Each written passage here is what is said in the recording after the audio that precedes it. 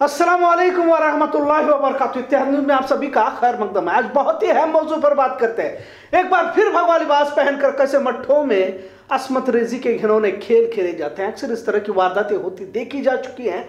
महज कुछ ही दिन पहले कर्नाटक में वाकया पेश आया था, पर अब एक और मठपति जिसे श्री श्री कहा जाता था, रियासत कर्नाटक के बहुत ही मारूफ मठाधीश, जिसका नाम बड़े इज़्ज़त और वकार के साथ लिया जाता है। डॉक्टर मुरुग राजेंद्र ब्राह्मण मठ, जो चित्रदुर्ग में है, इसे मठाधीश मुरुग राजेंद्र मठ, शिवरात्रि मुरुगा सिर पर संगीन इल्ज़ाम लगाए गए हैं। द फाइल्स की रिपोर्ट के मुताबिक मठाधीश मुरुग राजेंद्र के खिलाफ पोक्सो एक्ट के तहत मामला भी दर्ज किया गया। हासिल इतला के मुताबिक मुफ़्त हॉस्टल, यानी कि फ्री हॉस्टल में रहने के बहाने मुरुग राजेंद्र मठ बच्चों को तन्हाई में बुलाकर इनसे जिनसी ज्यादतियाँ करता था। मामला दर्ज किया गया, जिनसी इस्तेहसाल का शिकार हुई तालिबात ने इस मामले में मठ के स्वामी जी के खिलाफ शिकायत दर्ज कराई है। फ्री हॉस्टल की तालिबात ने खातन की बहबूती, यानी महिला संगठन के ज़रिए शिकायत दर्ज की महिला तंजीम के ज़रिए दायर शिकायत की बुनियाद पर मैसूर जिला चाइल्ड वेलफेयर कमेटी ने इसकी तहकीकात बरजुमा की और कमेटी ने पुलिस को हिदायत दी है कि पोक्सो एक्ट के तहत मुकदमा दर्ज कराया जाए और इन लड़कियों के बयान की सच्चाई को जांचे, जिन्होंने मुबीना तौर पर इन लड़कियों के साथ जिन्स जाति की है। तालिबात की शिकायत के बुनियाद पर नजराबाद थाने में एफआईआर दर्ज की गई है। बताया जाता है कि शुरू में पुलिस एफआईआर दर्ज करने से हिचकिचाती रही। बाद में पता चला कि जिला कलेक्टर के इल्म में आने के बाद कंप्लेंट दर्ज कराई गई। आपको इस बात का इल्म होगा कि रियासत में मठों के नाम पर बहुत सारे स्कूल, कॉलेजेस चलाए जाते हैं। कई जगहों पर मुफ़्त खाना, हॉस्टल का भी इंतज़ाम किया जाता है। बारह इस पर इसलिए भी पर्दा डाल दिया जाता है क्योंकि इन मठों के पीछे सियासी और बड़े लोगों का रुसूख होता है। कुछ तो इनके खिलाफ बोलने से भी डरते हैं। यहाँ तक कि एक खबर चलाने से भी इनको बार बार सोचना पड़ता है और सोचते हुए एक कभी सच्चाई दिखाते भी नहीं। तभी तो आज भी इतनी बड़ी खबर होने के बावजूद भी मेन स्ट्रीम मीडिया मुँह में दही जमाए बैठी हुई है।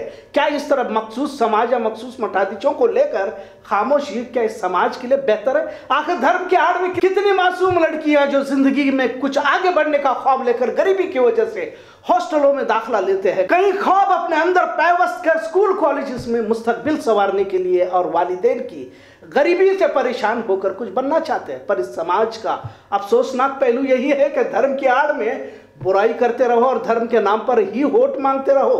इकतदार तक पहुँचने का यही तो आसान रास्ता है ताकि ऐसे मठाधीशों को पना दे सके। डॉक्टर मुरुग राजेंद्र ब्राह्मण मठ शिवरात्रि मुरुगा सिर के काले कारनामों की तहकीक जारी है। जिन तालिबात ने अपने बयान में स्वामी जी की हरकतों का ज़िक्र किया, सुनकर दंग रह जाएँगे। स्वामी मुरुगा राजेंद्र की दास्तान से कईयों के होश उड़ चुके हैं। सप्ताह में एक बार स्वामी जी तालिबात को फल और मिठाई का आशीर्वाद देने के बहाने तन्हाई में बुलाते थे। और वहाँ तक एक लेडी वार्डन उन्हें ले जाकर छोड़ती थी। इस दौरान वे लड़कियों से बात करते थे और खानदान का पस मंजर जान लेते थे। तालिबात ने शिकायत की है कि स्वामी जी जिन्होंने उनकी मदद करने का वादा किया था स्वामी जी ने उनका इस्तेमाल जिनसी इस्तेसाल के लिए किया और अगर कोई इसका ज़िक्र कहीं करता भी है तो उसे जान से भी मारने की धमकी दी जाती थी, ऐसा भी कहा गया। यहाँ तक इतला हासिल हुई है कि मिठाइयों में नशे की दवा भी मिलाई जाती थी। जुलाई में जब कुछ तालिबात ने जबरन जिनसी ज़्यादा की आवाज़ उठाई तो इन्हें हॉस्टल से बाहर कर दिया गया आखिर में कुछ तालिबात ने हिम्मत जुटाकर बेंगलोर गए जहाँ से उन्होंने स्वामी जी पर मुकदमा दर्ज किया।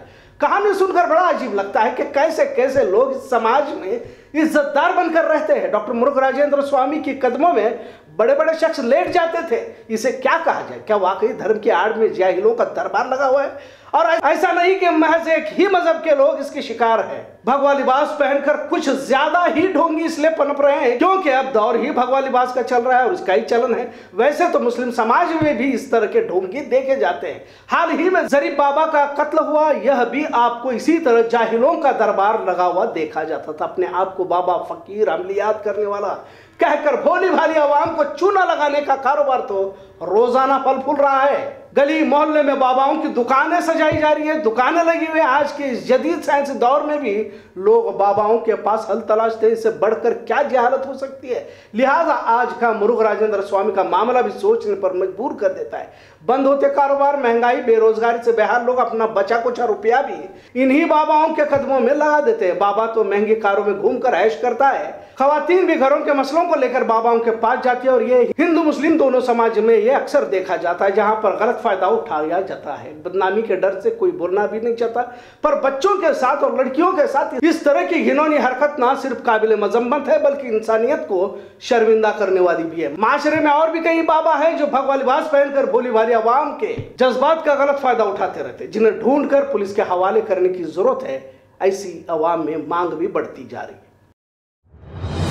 क्या करे, क्या ना करे, ये कैसी मुश्किल है? कोई तो बता दे इसका हल। वो मेरे भाई की तरह तेंदुए की कहानी रोज़ाना मज़ेदार बनती जा रही है। अब तो कुछ सियासी लोग भाजपा हुकूमत पर हमला करने के लिए भी तेंदुए का इस्तेमाल करे ऐसा लग रहा है कि अब तेंदुआ भी सियासत में एंट्री कर चुका है। तेंदुआ फुल जोश में तो फॉरेस्ट महकमा बेहोश में। ऐसी हालत बनती जा रही है। वज़ीर फॉरेस्ट उमेश कत्ती ने तीन दिन में तेंदुआ के पकड़ने की बात कही थी, पर आज को तेईसवा दिन भी गुजर गया, लेकिन तेंदुआ हाथ को आने को तैयार नहीं।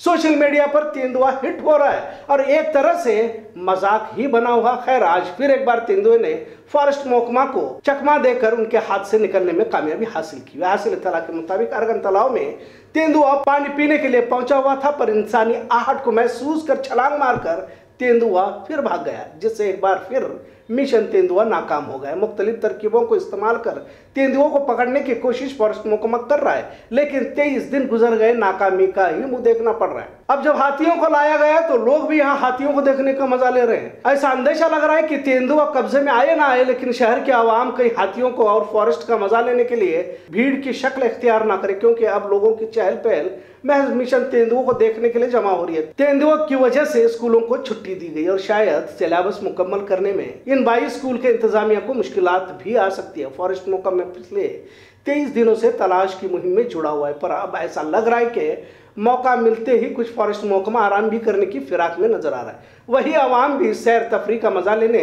रेस कोर्स मैदान पहुँचती हुई दिखाई दे रही कुछ दिनों की राहत के बाद फिर एक बार अचानक जोरदार बारिश से बाज़ार ठप हो गया। शहर के निचले इलाकों में पानी जमा हो गया। एक बार फिर स्मार्ट शहर का चेहरा आवाम के सामने बेनकाब होता दिखाई दे रहा। आखिर बार बार इस तरह की परेशानियों का सामना बेलगाम वालों को क्यों करना पड़ रहा है? गैर कानूनी बस्तियों का बहाना देने वाले अफसरान तब लाजवाब होते हैं जब कानूनी बस्तियों में भी पानी रुकने लगता है। लिहाजा आज की बारिश से कई सड़कों पर पानी जमा हुआ देखा गया। खबरों का सिलसिला यूँ ही चलता रहा। देखते रहे इतिहाद शुक्रिया। अल्लाह हाफिज़।